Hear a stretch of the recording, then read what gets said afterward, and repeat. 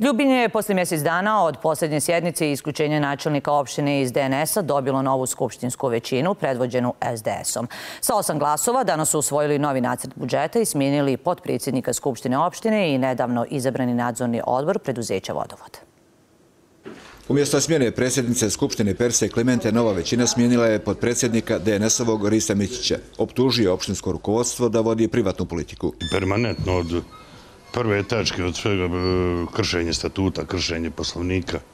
Ja sam smijenjan mimo statuta. Mimo poslovnika, naravno da će se obratiti na ministarstvu lokalne samuprave. Smijenjen je i krajem decembra izabrani nadzorni odbor vodovoda koji je uzrok skupštinske blokade od aprila prošle godine.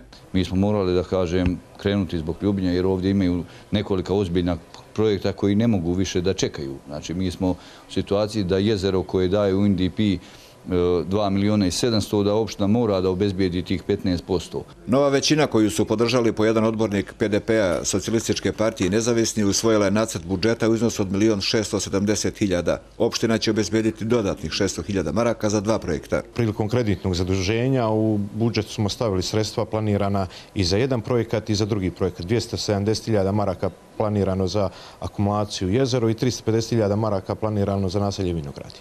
Ja očekujem za nekih 20 dana dok se pripremi Skupština u najkraćem mogućem roku da će biti usvojen budžet. Problem neuređenog naselja Vinograd je žučnim tonom obrazložila je predstavnica mjesne zajednice. Ni politika, ni stranka, ni niko ko je predsjednik, ko je zamjenik nas, isključivo zanima rješenje infrastrukture Vinogradi. Na prijedlog predsjednika Republike Srpske Milorada Dodika Ljubinje će u buduće imati ulicu 9. januar umjesto ulice Avenija.